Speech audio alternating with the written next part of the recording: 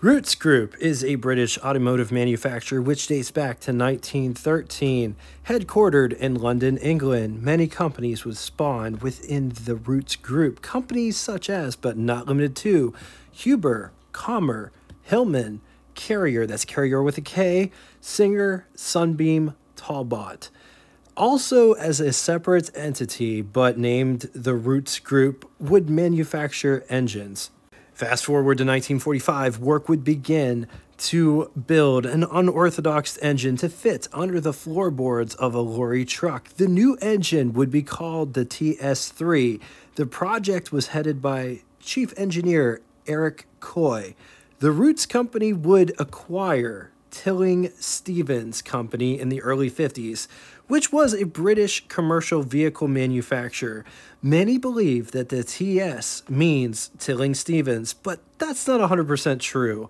Even though the engine was originally planned for the Tilling Stevenson group and then it got bought out by the Rootes Company in the 50s, TS stands for two stroke. The engine name would be TS3 for two stroke, three cylinder. It was introduced in 1954, and this might be the weirdest engine that you've ever witnessed in your whole entire life. It's a three cylinder, but it has six pistons, with a piston at each end of the cylinder.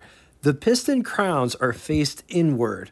Adding to the intrigue of this engine, the pistons were driven by a single crankshaft instead of two.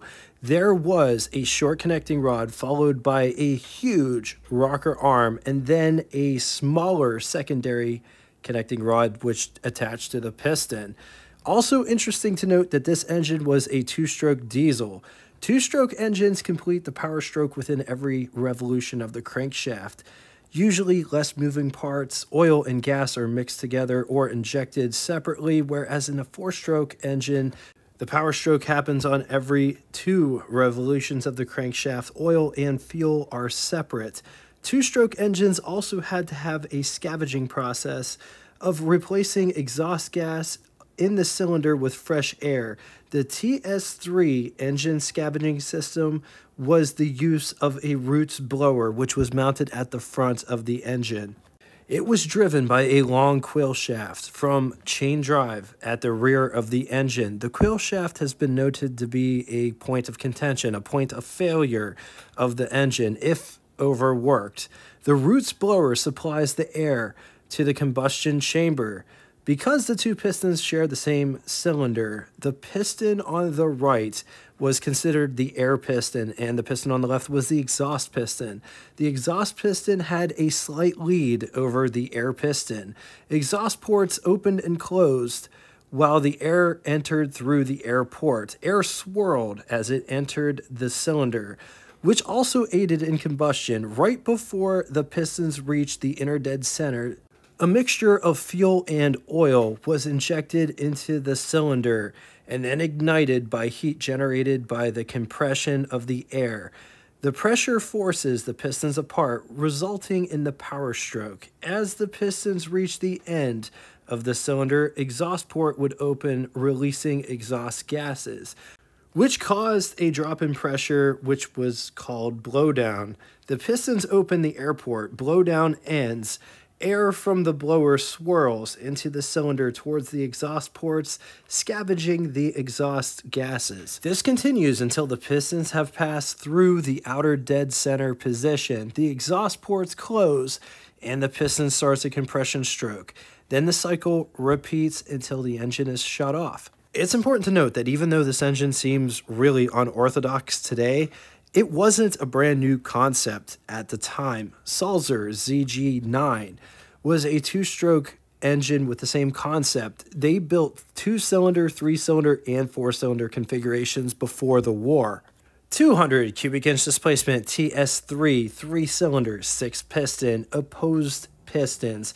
3.261 liters. It was good for anywhere between 90 to 105 horsepower, 2400 RPM, 270 pound feet, or 366 newton meters around 1200 RPM, with a bore of three and a quarter inches and a stroke of four inches.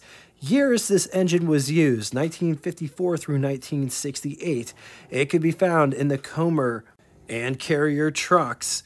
The engine was specifically designed to be mounted under the floor of the cab in these trucks. There was also a short lived partnership with Lister to market these engines for industrial use, whether that be for a freestanding engine to operate equipment, generators, water pumps, what have you. And there was also a program in place for them to be used in various marine applications as well. It's important to note that this engine doesn't use camshafts or valves. The TS engine would get another cylinder added, two more pistons as well, and it was called the TS4.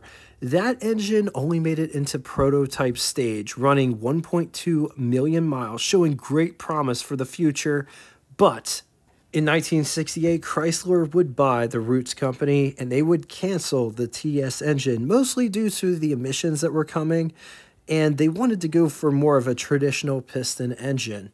All right, now it's time for Would You Rather. Only one scenario today. If you had access to this engine, what would you use it for? Would you put it in a truck? Would you put it in a car? Would you put it in an airplane or would you use it as freestanding or possibly put it in a boat? Put it in the comment section what you would do with this engine if you had it. All right, now it's time for Name That Tune. First person to get both the name of the band and the song title correctly in the comment section will have your comment pinned to the top of it. Thank you all so much for coming out and watching this one. This one was a requested engine. Which engines would you like to see featured on this channel this year? Put it in the comment section below.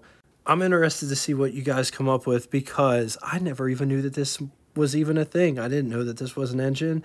And this is honestly the weirdest thing that I've ever seen.